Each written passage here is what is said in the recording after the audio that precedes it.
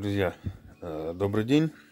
В очередной раз были вопросы о том, что непонятно, что и как подсаживал маток, так как не все досконально на пальцах показал. Ну, ребята, если показывать на пальцах, то это вообще не ко мне, если уж так говорить. Ну, а так, ну, довольно-таки много отснято уже видео, где показывал все подробно, каждый раз рассусоливать, ну, не знаю, наверное, нет смысла. Тут главное пробовать, делать, набьете себе руку, и все будет вообще окей. Вот, но если еще раз вкратце, то как делал, вот, например, с отводками, вот, например, вот здесь, вот в этой семье. А тут самое простое. Нет открытого расплода, засева. Только расплод на выходе. То есть пчеле при всем желании свою матку не вывести значит она примет любую, там даже вообще хромую. Поэтому при формировании отводка сразу положил им матку в клеточки, обмазав ее опероем и выломал клипсу защитную. То есть пчела сама через день выпустила матку и приняла. Сейчас давайте посмотрим, я покажу, что она есть, бегает. То есть дальнейшие действия после этого какие будут? они заключаются в том, чтобы контролировать развитие. Так как иногда, ну вот у меня бывали такие случаи, что когда матка начинает сеять, пчелы все равно тянут а, маточники. Они хотят сменить матку и вывести свою. И длится это до того момента, пока в новой, от новой матки там не выведется пчела, которая составит большую часть семьи.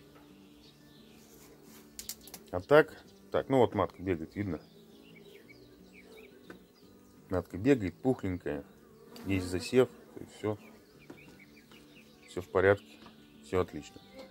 Вот, а так, то есть прием сто процентов всегда. Ну вот, ну говорю вот, вот за себя. Вот, вот на такие отводки это ну вот сто процентов было.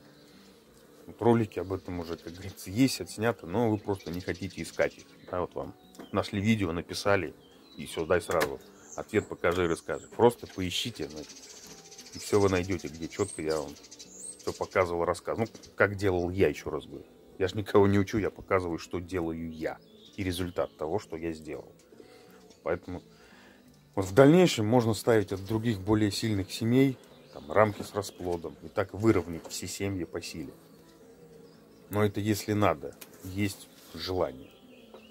Вот да, поставлю им еще на развитие сушь.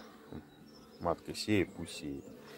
Поэтому вот можно подставлять рамки с расплодом, да, вот, чтобы подсилить. Это многие делают, чтобы вот выровнять семьи. Эм, чтобы, ну, на пасеке работы проводить одинаковые в одно время.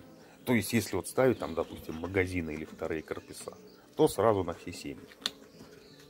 А не бегать, то есть к одним надо бежать с магазином, к другим надо бежать с кормовыми рамками, там, или суши, вот как вот здесь, да, туда бахнул магазин, а здесь вот порамочно начинаю суетиться. И так далее. Тут каждый решает сам, как ему удобнее, собственно говоря, и лучше работать.